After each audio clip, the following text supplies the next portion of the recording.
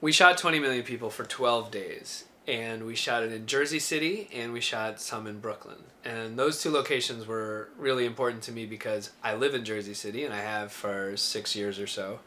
And um, this was my coffee shop, my bar, my local like uh, you know my streets my the apartments the the skyline everything was was where i spend my time. So the story took place there and we were able to shoot it there. And the other location was in williamsburg brooklyn where i spent six or seven years of my life as well.